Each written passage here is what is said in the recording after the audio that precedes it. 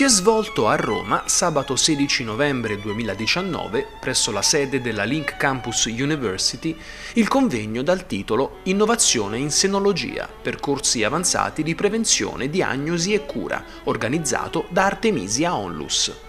un focus ad ampio spettro sul tumore al seno, la neoplasia più frequente in assoluto tra la popolazione femminile, approfondita attraverso indicazioni, analisi, esperienze e prospettive future fornite da primari esponenti del mondo medico ed accademico italiano. Il tumore al seno colpisce una donna ogni 8 nell'arco della vita. Inoltre si registra un significativo aumento di insorgenza della patologia anche fra le giovanissime, nel campione di età tra i 20 e i 25 anni.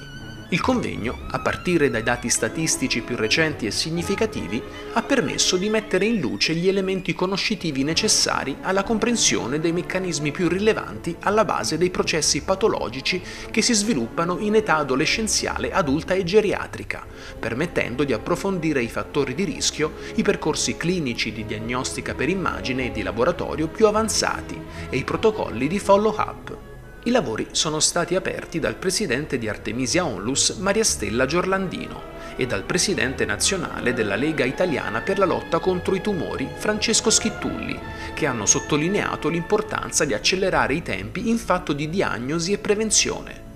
Nonostante la crescente annuale incidenza del cancro della mammella, diminuisce la mortalità, tant'è che oggi si registra una guaribilità del cancro al seno complessivamente superiore all'80%. Il convegno ha dunque avuto il merito di fornire informazioni puntuali sull'attività di prevenzione, in merito ai percorsi diagnostici e clinici verso i quali le donne devono essere correttamente indirizzate. In particolare, come è stato spiegato nel corso dei lavori, la prevenzione diagnostica di qualità permette oggi di individuare tumori di piccole dimensioni e si basa sull'impiego di apparecchiature innovative di ultima generazione. Nel corso della giornata sono stati ampiamente trattati e corredati con case report gli aspetti epidemiologici, le cause ed i fattori di rischio delle patologie oncologiche della mammella, i percorsi diagnostici strumentali, gli opportuni esami citologici ed istologici, le innovazioni nell'ambito della ricerca genetica, i percorsi terapeutici e le soluzioni interventistiche.